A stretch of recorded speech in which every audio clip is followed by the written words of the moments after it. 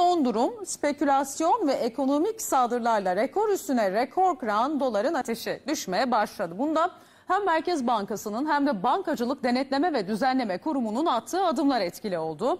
Türk lirası dolar ve euroya karşı yaklaşık %5 değer kazandı. Piyasalardaki olumlu hava borsayı da etkiledi.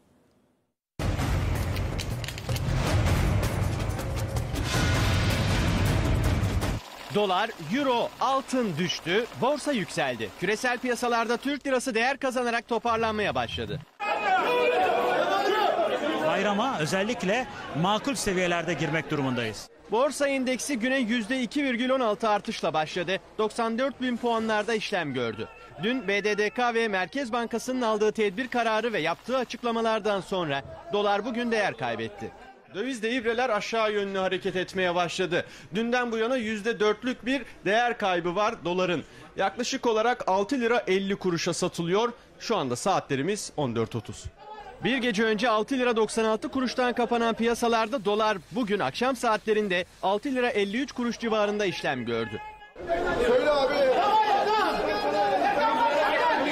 Şartların dönmesi lazım, hareketin devam etmesi lazım. Hareket olmadan bereket olmaz. Euro rakamları da tabelada dolar gibi aşağı yönlüydü. Gün içinde yaklaşık %5 oranında değer kaybetti. Dün gece 7 lira 94 kuruşlara çıkan euro bugün 7 lira 50 kuruş seviyesinin altına indi. Vatandaş zarardan kar veya kardan zarar edeceğim diye psikolojisini boş yere bozmasın. Ve tarihi rekorlara imza atan altın. Bugün altın piyasada %5'e yakın değer kaybetti. Gram fiyatı 267 liraya kadar dayanan altın 250 lira seviyesine geriledi. Çeyrek altınsa günün en yüksek rakamı olan 401 liradan 397 liraya düştü.